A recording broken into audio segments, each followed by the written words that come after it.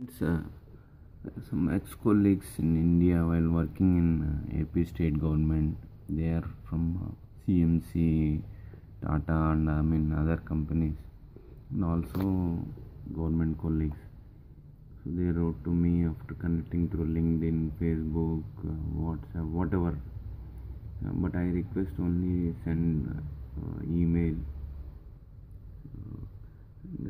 Saying after watching. My videos. He, he was regretting like uh, he could not go to US because he denied um, all the US opportunities and now he's leading in, in one of the MNCs in India in top positions. Like many of my age friends colleagues ex-colleagues whatever whoever. And uh, he wrote like I mean after watching your videos uh, this photo is with his minister when I was working there. So he said like I mean um, I regret um, I could not go to US that's what he wrote later. Now after watching videos he understand um, he's, he is correct. That is his decision is correct. I said you can come through your company like L1 whatever. But staying here one or two years and go back that would be great uh, but if they ask you to come on green card then 100% life set here because if you come on either f1 or h1 the life here is worse than uh, american dog's life the dogs in my american landlord's house received a very good treatment this is with um, while working in ap government i also worked with um, two political state heads, Mr. Naidu and uh, Mr. And uh, IAS officers, and especially on IT wing. And uh, that's what he wrote. He, he also worked there in the government. Many friends, many ex-colleagues.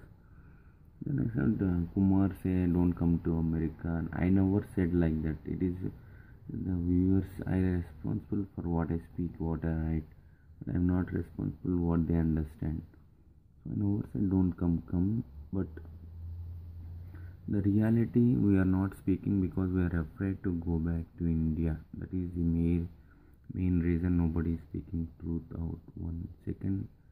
Uh, it doesn't matter what visa you are but unless you have you don't have a green card unless you have a green card there is no life here. You are a non-immigrant and life is worse than a dog's life. Um, because nobody is speaking the truth out because I'm speaking a lot of haters are uh, targeting me in person. Thank you for watching. And email us any questions? This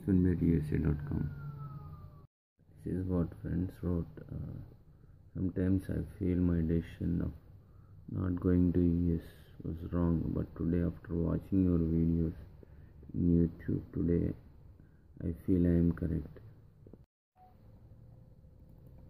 So this is what i replied to my friend um, you are 100% correct but people misunderstanding that kumar saying don't come to usa some colleagues also misunderstand like that here. So if you come through mnc or usa client life is good. Provided wants to return in one or two years. They bring you on green card. Uh, life is 100% set here. Otherwise, life is worse than a dog in my American landlord's house. In fact, dogs, dogs have better life than to H1Bs and F1s here. Nobody is speaking out due to fear of return to India. Dollars or green cards or employers fire or whatever. All Indian companies and Indian beings are doing simply pimping business here or mushroom kind of business here or some are doing even prostitution but not more than that thank you for watching